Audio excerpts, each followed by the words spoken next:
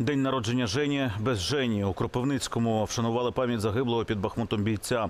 Молодому журналісту, перспективному науковцю Євгенію Осієвському мало б виповнитися 30 років. Пам'ятну зустріч для його друзів і рідних провели у місцевій бібліотеці, адже саме там юнаком Женя проводив весь свій вільний час. Історію е, героя розкаже Юля Бабак. З екрану на присутніх дивиться молодий усміхнений Женя. Люди в залі не стримують сліз. Саме таким пам'ятають загиблого героя рідні й друзі Євгенія Осієвського. Він ну, справді був дуже ну, життєлюбом. З дитинства Євгеній займався танцями, відвідував безліч творчих гуртків. За поєм читав. Йому завжди треба було тільки дарити книжки. Женя був просто фанатиком історії. Був головою шкільного парламенту і мріяв стати журналістом. Він працював, вважайте, з 12 років. Він завжди своїм розумом заробляв гроші.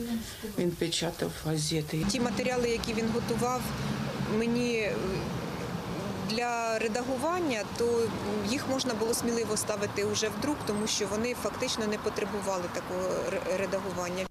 Після закінчення Кропивницького університету за фахом політологія Євгеній вступив до Києво-Могилянської академії, вивчав культурологію, планував етнографічні експедиції, був автором науково-популярного журналу Куншт і журналу соціальної критики Спільне. Володів чотирма мовами, публікувався в закордонних наукових виданнях. Він би дуже багато хорошого зробив, я вам чесно кажу.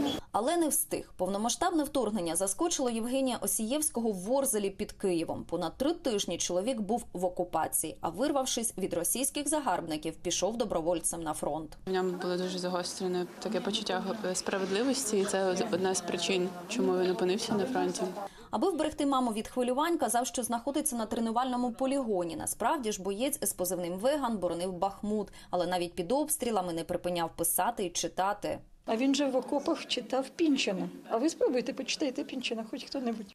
Загинув Євгеній Осієвський в травні цього року від ворожого обстрілу в Бахмуті. Перед смертю встиг попросити друзів свою бібліотеку передати до Кропивницької книгозбірні, де провів більшість свого вільного часу в юності. Найбільше він любив свободу. Євгеній Осієвський став 60-тим медійником, що загинув внаслідок російської збройної агресії проти України.